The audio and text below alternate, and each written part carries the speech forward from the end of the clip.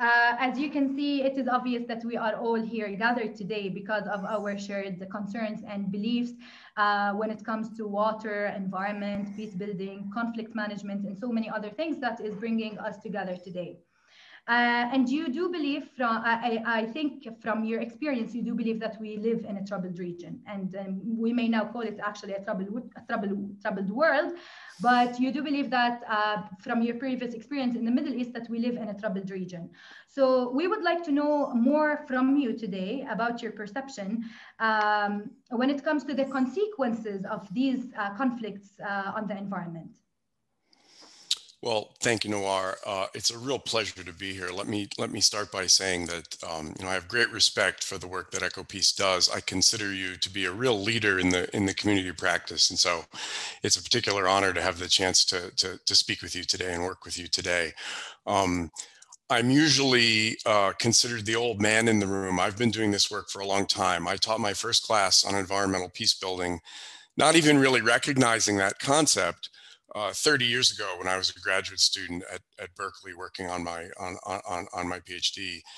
And the first work that I published on this was in the early 2000s. And, and, and even then, EcoPeace was already out in the field um, uh, doing the actual work. And, and one thing I often say when I'm asked to give remarks is that uh, this is a field that was crowdsourced from the start. Most of what we know did not come from the classroom. It did not come from the scholarship of people such as myself. It came from a community of practice that was that was trying and, experimenting and building programs such as the, the very impressive work that you just described on, on, on youth and young professional education. So it's really terrific to be here. Um, when it comes to the, the, the, the, challenges around conflict in the environment, uh, I think our attention is often drawn to the direct effects uh, we see the, the, the, terrible destructive power of war and the terrible destructive power of conflict on the environment. Um, we're getting a tragic illustration of that uh, in, in Syria, for example, in, in, in, recent years and in many other places around the world. And in fact, even just the preparation for war takes a very heavy toll on the environment. Um, some years back, someone calculated the climate footprint, the carbon footprint of the United Nations uh, peacekeeping, peacekeeping efforts. And they found that the carbon footprint of those activities was the equivalent of a major global city. So even just preparing for war uh, takes a heavy toll. But what I like to emphasize is the indirect consequences that can be just as disruptive. Um, conflict disrupts the positive practices that we need for a sustainable environment. Irrigation systems don't get managed, trees don't get planted, agricultural terraces don't get rebuilt on, on a seasonable uh, uh, basis. Um, people are forced into mobility and migration when they when they might prefer not to, and spaces and places get fragmented and bordered in ways that people uh, cannot come together. Uh, and these indirect consequences, I think, are, are, are, just as telling in the toll that they take on the environment. Uh, and finally, we should also note that one of the tragic consequences of conflict is that it forces people into uh, poor decision making based on sh uh, short-term time horizons. Uh, there are some tragic stories, for example, documented in, in Afghanistan, uh, in the conflict in Armenia and Azerbaijan, uh, of people cutting down entire orchards, fruit trees, nut trees, walnuts, uh, orchards that would provide a sustainable livelihood for people in an environmentally sound manner for decades, being cut down because they couldn't rely on uh, being able to stay on the land for the following harvest season. And so they collected what value they could out of the timber uh, that was in the trees. We see this time and time again. People forced into overfishing, uh, people forced to convert forests into charcoal. These are not decisions that they would normally take with an eye toward a sustainable future. Uh, but conflict often forces them into that. So it's important to note the direct effects, but it's also important to note these second order effects that disrupt institutions uh, and force people into profoundly unsustainable uh, forms of behavior. So I would look at it in another way. So as I understood from what you're saying is that it is definite that the environment can play actually a key role uh, in shaping the foundations for peace and reconciliation. So knowing that and from your uh, experience, um, are there some potential approaches for addressing the environment as a peace building tool rather than uh, looking at it as uh, as um, as a, yani, rather than looking at the disadvantages of uh, conflicts of um, um, the conflict, the, the conflicts uh, disadvantages of the environment? Can we look at potential approaches to to uh, uh, address the environment as a as a key for peace building? Sure, uh, without question. And uh, I think we've actually learned quite a bit through research on environmental peace building over the last few decades. And we're, we're getting to the point now where we actually are able to make some statements about what works.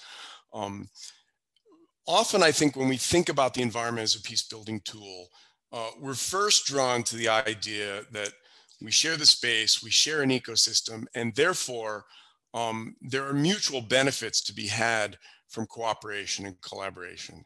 Uh, and Gidon, when he was talking about the mayors and the big jump uh, in his in his opening remarks, uh, really signaled that I think that is the, the, the starting point and the foundation.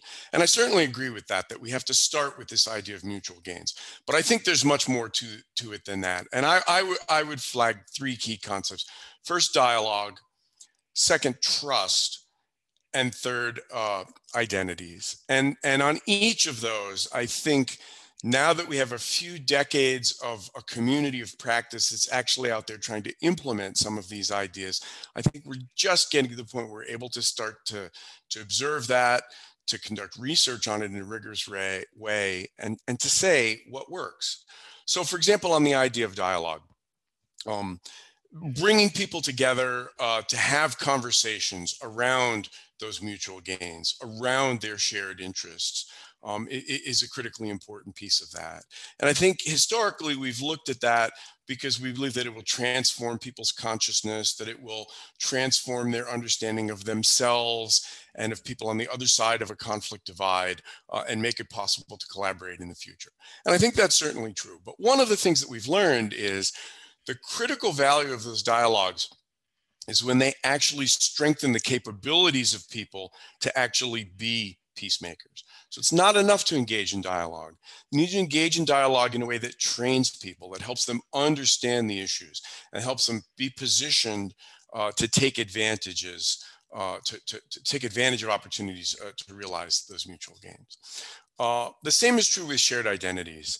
Um, one of the foundational premises, I think, in the field of environmental peace building is that um, shared identities can be a powerful tool for dialogue. Um, that it is possible to bring farmers together with farmers in a way that can bridge the conflict divide. That it is possible to bring scientists together with other scientists, to bring young people together with other young people. And the idea here is that their identity as a farmer, as a scientist, as a young person allows them to re- relate, allows them to connect, allows them to have a conversation uh, despite all of the challenges uh, of, of, conflict settings. And again, I think what we've learned through a few decades of experiments with trying to do this work is that's absolutely the case. Um, I mean, I have I have stood together with Israeli and Palestinian date farmers having a conversation about growing dates, and you can see that their identity as a farmer, the land ethic that they bring, the understanding of the craft, uh, you know, of, of, of, of, making the trees flourish, um, gives them a, a very powerful basis for dialogue. But again, it's not enough. The key is how they take what they learn back home and how they transformed as individuals, then connect that back into wider social networks and that they be able to sustain those dialogues uh, over, over time. And a third key approach that I think is important involves the question of equity. Um, there's no question that there are mutual gains to be had uh, all, all, all, over the place. If we can look at the Jordan River Valley as an ecosystem, not in the fragmented, bounded, and bordered way that it is so common to look at it today, but as one system, there are countless opportunities for collaborative gain that are there. But one thing that we've learned is that the question of equity always has to be put front and center when we have those conversations. There is always a distributive component and a distributive conversation that has to be had. And it's always important to confirm that those mutual gains are, are pursued in a way that is perceived by all parties as equitable. Those can be difficult conversations, but they're conversations that it's absolutely essential that we engage in. So I would say dialogue, shared identities, and equity um, in my mind, are, are three of the key building blocks going forward. I actually second the the uh, the three building blocks, but I would like to to uh, second that a common identity actually allows for communication and negotiation, and sometimes it actually uh, uh allows for a common vision and forms uh, the basis for um, a, a, perfect dialogue. Let's say.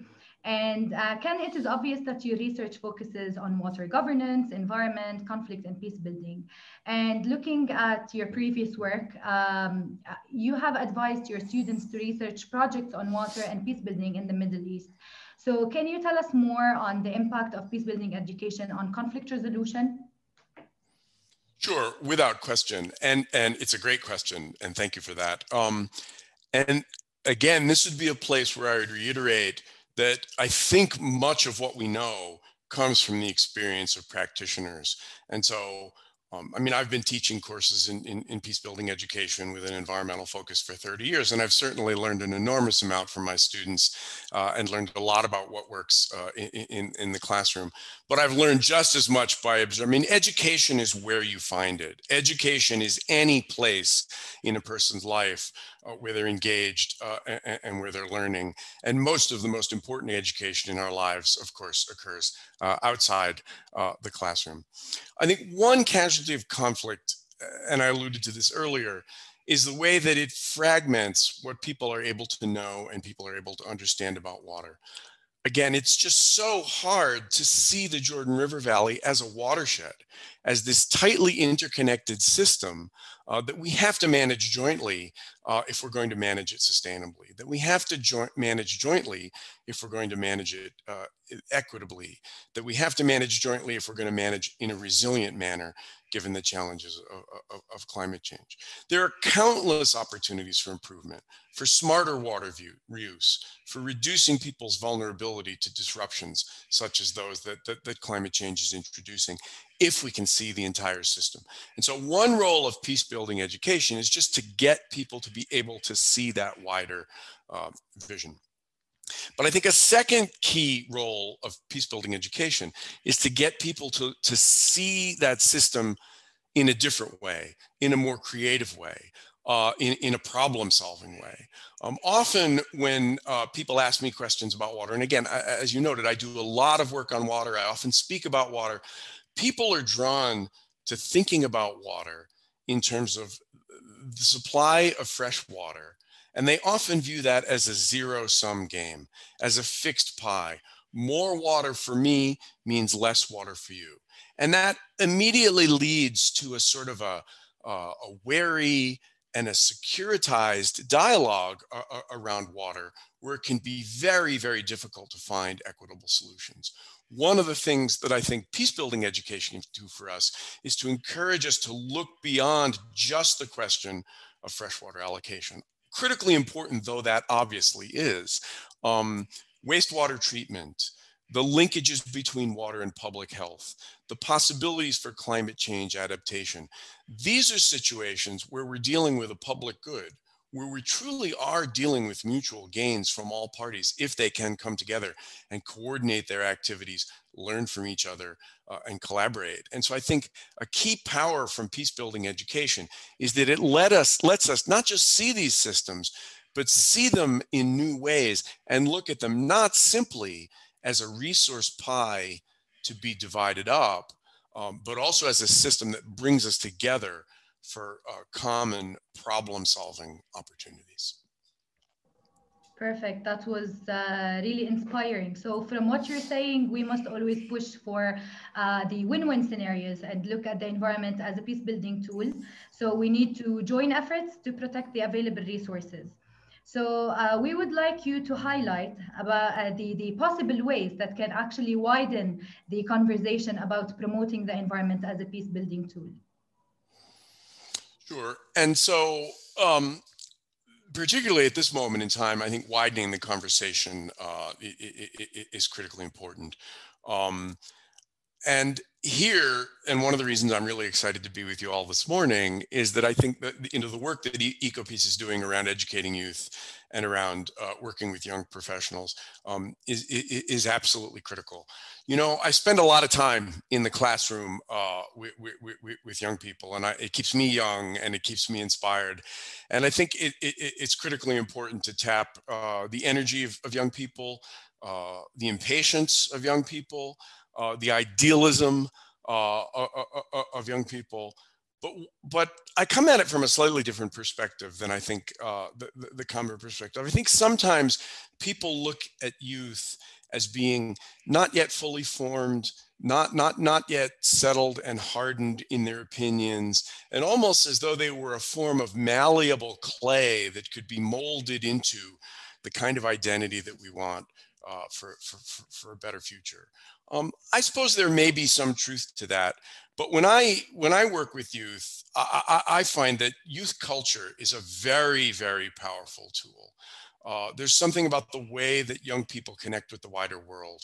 There's something about the way that young people connect with art and film and music uh, and literature. There's something about the way that young people just sort of, you know, intuitively uh, connect uh, with technology in a way that we older folks have to be sort of sometimes led, led along um, that creates a very, very powerful uh, opportunity uh, for engagement, uh, for building a network, for not just changing people's sensibility, but for then sort of sending them back into the wider social networks that they're connected with, carrying forth that message. And so many people who work in environmental peace building will say, Scientists are one such powerful network that we can bring together across a conflict divide because they'll take that message back with authority. Uh, farmers, people actually work with natural resources are, are another powerful such network. Well, I agree with that, but I think youth is really a powerfully untapped uh, network in that regard. And that's why I find the work that EcoPeace is doing to be so uh, very exciting. A second key element to that, I think, is the young professionals work. Um, and here I would simply highlight that the actual work of peace building, it doesn't occur in the classroom. It doesn't even occur in diplomatic council chambers, although those are obviously important settings. It occurs in the arts. It occurs in filmmaking. It occurs in engineering, the building of infrastructure. It occurs in commerce. It occurs in sustainable agriculture. It occurs in city and regional planning. And so by bringing young people together, building those capabilities that they're talking about, but then plugging them back into those networks of practice where the actual work of peace building will either occur or not occur on a daily basis. To me, that is an absolutely critical network to be building out uh, and, and, sustaining uh, uh, going forward. And the final point that I would make here, and, and uh, just very briefly, is that um, there also needs to be uh, re-education and training uh, of older folks who are in more senior positions of leadership. And so one of the things that I've done some work on that I find quite exciting is on the development of educational programs, uh, toolkits, toolkits, excuse me, uh, online uh, training courses and so on for more senior people who are out there working in, in communities of practice uh, to learn more about environmental peace building themes and how they can connect that uh, to their own work. Uh, these are actually very promising remarks, uh, but here comes the question of commitment. So, for example, how can we uh, sustain long-term commitment and willingness to take uh, to, to make a change or to to to take an action uh, during the different challenges, or in or in other words, or to be more precise, how can how can the participants or your students stay relevant and engaged even after their intense program ends, for example? Well, again, a terrific question, and and in many ways, this is the challenge, right? Because I think um, peace is a marathon; it's not a sprint. Um, and people who think that we can sprint to peace often simply wind up exhausting themselves and then departing uh, from the racetrack rather than sustaining uh, the, the, the, run in some sense that, that, that is needed. Uh, and, and, and not all moments are equally ripe for peace. And so, one of the things that I think we are doing in this work is simply pre positioning a network of people uh, with powerful ideas, uh, with knowledge about the issues, with practical initiatives that they believe could, in fact, uh, be implemented uh, if the space were just created for them, if the opportunities for them were just just were created. And that means that we absolutely constantly have to be thinking about sustaining our networks, building out our networks, reproducing our networks, and keeping connected with each other. Um, I get a lot of emails from people all around the world uh, that are that are doing this work. Uh, you know, and back in the day when it was just a very small group of idealistic people who had some crazy notions about what might have been possible, um, I would always take a lot of time to try to answer those communications, engage with people, and I, I would always say, stay connected to me. Uh, because it's important to know that you're not alone in doing this work. It's important to know that you're not crazy in trying to do this work. It's important to know that there are hundreds and thousands of other people all around the world that, that, are, that are trying to do this work. One of the exciting things that's happened in recent years is I think that community of practice is becoming increasingly well connected. Um, we're starting to see a lot of different platforms, some in the scholarly world, some in the world of practice, some among donors that are allowing people to make those sorts of connections. One that I would highlight for people on this call is a new entity called the Environmental Peacebuilding Association. Uh, we just had about, let's see, about one year ago today, and well, in October of last year, we had the annual meeting of the, uh, the first annual meeting of the Environmental Peacebuilding Association. And it was a gathering of some 300 people from all over the world, people working in education, people working in research, people working in foundations, people working in the community of practice uh, to share experiences and to, and to talk about what works uh, in, in, in this field. One of the really exciting things that the Environmental Peacebuilding Association has done has created a series of interest groups. And these are just coalitions of the willing, people that come together from those different sectors uh, to exchange ideas, to exchange knowledge, to do some professional networking, and to stay connected. And so there is a water interest group. Uh, there's a very dynamic and active young professionals interest group that I would encourage people on this call uh, to certainly uh, take a look at.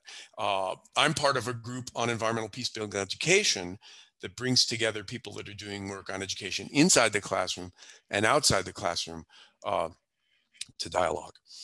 Uh, and the last thing that I would say about sustaining this long-term commitment is the importance of mentoring. And here, I think I particularly would like to have a, a message to some of the younger people that are involved in this work. Uh, mentoring is critically important. Uh, and we all look uh, for mentoring. And one of the challenges that I faced coming up in this field was that it was such a new enterprise. It was difficult to find more senior people, more experienced people in the world that, that, that, that could provide that mentoring that I needed. But you know, you find it where you can find it and, and, and you, you, you make a path forward the best you can. Um, it's important to seek out mentoring, but it's also important to realize that you yourself uh, are, are, a mentor. Um, so if you've been through one of these programs, you know things that you can pass forward to the people that are coming along behind you. And one of the things that I think we often make a mistake in is that we're so busy looking for the mentoring that we need to move forward ourselves. We don't realize there's a line of people forming just behind us and that occasionally by looking over our shoulder even at a at a relatively early stage in your involvement in this you too can uh, critically uh, provide that that mentoring value uh, that we all need uh, and, and and that we all look for. And so I would encourage you to stop and think about, you know, what have I learned? How can I pass on what I've learned? How can I not just push it forward in my own life, but how can I look back over my shoulder and share the wisdom of, of what I learned and be that mentor uh, that I'm also seeking? Thank you. This is uh, this is just wonderful, and it's uh, crucial, especially that uh, we're we're approaching the end of the year, and most of our programs actually just ended this year, and we will start uh, with a new cohort in the uh, next year. And I would like uh, to highlight that one one member from the Young Professionals Group and one member from the Water Interest Group that Ken has just highlighted will be with us during later sessions today. And uh, as we informed our audience, um, Ken, the Q&A is open for our panel. And in order to engage also with the audience who are sitting behind the screens, uh, we would like to take some questions from the audience that have been sent to uh, us. So the first is, um, is asking uh, if you have been able to evaluate the impact of environmental education initiatives yeah, um, it's it, it's a challenge, right? Because um, when you're when you're doing environmental education in the classroom, uh, whether it's peace building oriented or, or, or, or, or just more general environmental education, um, there's always a challenge. You know, we, we assess the students at the, at the end of the semester uh, and we ask them if they were satisfied with the class and if they have any suggestions for improvement. And that's, and that's very, very valuable uh, knowledge. Um, but when I think back to my own educational experience, I had no idea at the time uh, what were going to be the most important uh, experiences that I had. And I certainly wasn't in a position uh, to evaluate. It, it, was what stayed with me, and it was it, it, it was what lasted with me. Um, and when you do more of the sort of the short course and the training kinds of things, whether we're bringing together sort of a group of foreign aid officers or diplomats and working with them in an intensive weekend workshop type of setting or, or, or, or, or, doing the, the, the, sort of work. Um, it, it, it, it's hard, in fact, to, to, to, to assess what works. And so one of the things that I think is really exciting uh, uh about the work that EcoPeace is doing is that, is that over the long term, um, it's really sometimes just circling back to people two years later, three years later, five years later uh, and asking them. So one of the things that I've actually started doing in my own work, just to learn for myself, but also to share those experiences with my own students, is to reach out to my former students, uh, particularly students who've come and, and, done the interdisciplinary master's degree that we run uh, in, in, in, in, global environmental policy, which has a strong peace building element to it um, at American University, where I teach in, in, in Washington, D.C. Um, and record interviews with them. You know five ten years out they're now out in the field and they're working. And i find it's really sometimes only at that point in time that they can reflect back on and i will ask them questions like what do you wish you'd known when you were starting the program? Uh, what did you learn from this program? What were the takeaway messages? And i found that to me that longer term perspective uh, is really the key uh, to improvement and to innovation Yes, and another uh, another key, another important key is, as you just mentioned, is taking feedback from those who were actually participants of uh, previous environmental education initiatives or projects, and try to involve them in building contents and designing the program for the upcoming years. So this is what we what we are basically doing at EcoPeace, as uh, the year 2018 was a pilot year for many uh, com educational components. Uh, actually. Another is asking, another question is asking about the, um, uh, okay, so the openness for dialogue. So it says, uh, if you have found that the new generations are more open to dialogue and uh, versus uh, when you started. And if you have also found them more aware of the environmental challenges that the region faces. Sure, and and so I think um, so. I'll take both of those questions in turn. Um, I think the question of uh, openness to dialogue um, is, is, I think it's something that proceeds in, in in stages. I think anyone who's concerned about the environment, uh, anyone who has any form of experience uh, with environmental issues, I think fairly quickly realizes that uh, these are collective problems. These are problems that join us, you know, upstream, downstream, left bank of the river, uh, right bank of the river, you know, edge of the forest, other edge of the forest. You know, the, the social distinctions that we bring are uh, artificial, right? And, and, and nature just doesn't acknowledge those social distinctions. It sometimes suffers because of those social borders and distinctions that we create but it certainly doesn't doesn't acknowledge them. And so i think this is one of the reasons why the environment is can be such a powerful peace building tool because i think that we are we are open to that sort of experience. That to me is is is the first stage that stage of awareness. But i think what has to come to truly be open to dialogue the second stage has got to be um, experiential you know and so i talked about i talked about farmers uh, let, us like date farmers right? Farmers who, who who grow trees you know and on one side of a conflict divide they might be growing trees in a certain manner and another side they might be growing trees in another manner. Well they understand that this is a regionally affected enterprise. They understand that there are pests in the region that will you know go right across the border and affect their trees and so on they understand that these are problems that demand a joint form of management but until they've had the chance to, to, to, to, walk on each other's land, to see each other in the way that they actually, actually practice, to understand what it's like to grow dates when you are water constrained, or when you have to constantly be thinking about the salinity of the water, or countless other sorts of considerations. That I think then sort of becomes the second the second stage of dialogue. And so the important thing about peace building education and environmental education and why i think there are so many synergies is they're both almost inherently experiential uh, at, at some point. And i think it's tapping that experiential component that is really really critical not just to getting people opened for dialogue but but to really you know helping them come to that dialogue you know, with a deeper piece of understanding. So I would certainly stress the experiential component of that um, very much. Thank you. Thank you. That was wonderful. And uh, coming to our last question that I'm going to take today. Uh, by the way, we have so many questions, so I encourage the media team if they can collect the uh, the questions, and then we can later on send answers, or maybe we can have it published on our website.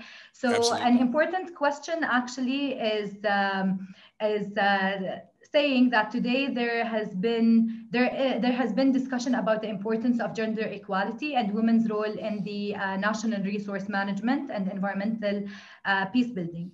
Why does literature on development focus on this so much and uh, more than the academic literature? Sure.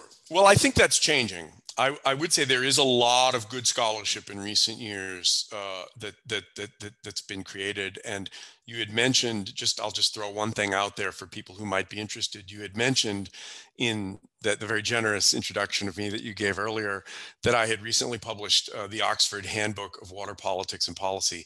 And one of the things we were trying to do with that book was very much take a forward looking approach. It was not meant to be an encyclopedia of what we know. It was not so much what we know as where we need to go. And there's some very good work, I think, in that volume on on on some of the water uh, dynamics, gender water dynamics, that I would encourage people uh, uh, to take a look at by some by some real thought leaders. Um, uh, social structure conditions everything uh, you know, the, the, the, the, categories that we are socialized into, the different life experiences that we have from the start. Uh, you know, it, it can it creates vulnerabilities, it creates opportunities, uh, it creates sensibilities that we simply need uh, to understand.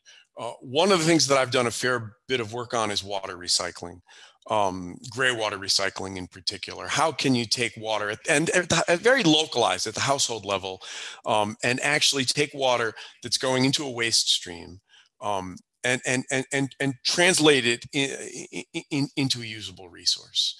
Um, and one of the things that I have learned uh, from those programs um, if the women are not part of that conversation, there's simply no possibility uh, for making uh, significant progress. We know that women's vulnerabilities are often different than men's, right? This is a critically important insight, right? We know that much of the provisioning of water at the household level, much of the backbreaking labor of hauling water or staying home from school and waiting for the water truck to come or whatever it may be, we know that that impact falls disproportionately on women. And it's critically important to rectify those inequities. But at the same time, we also know that given the central role that women play in those forms of, of water provisioning, they're absolutely critical gatekeepers.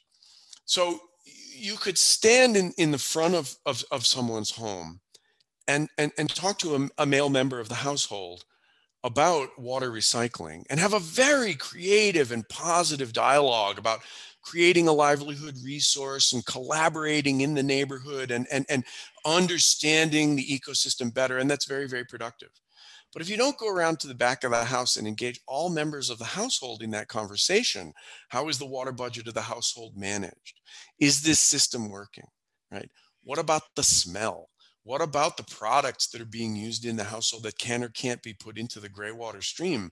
Um, then you're not dealing with the actual management of water and the different ways that that management affects people. And those differences operate at all human scales. They operate at the scale of individuals, they operate at the scale of communities, they operate at the scale of neighborhoods, they operate at the scale of entire nations. And so I think bringing those recognitions, both about different vulnerabilities, but also also about entry points and voice and, and, and opportunities for change, um, is actually critically important. So I appreciate the question very much. Yes, it is definitely uh, critical. And uh, from here, I would like to conclude with uh, the statement that the consequences of conflicts actually on the environment are real and our mindsets uh, need to change. So we need to push for a different way uh, of looking at uh, the current challenges and the challenges that we might encounter in the future years, and to try to look at these conflicts and challenges as uh, opportunities to build trust, trusts and uh, unify identities. Thank you very, very much, Ken. Uh, that was a valuable and inspiring input. It was definitely eye-opening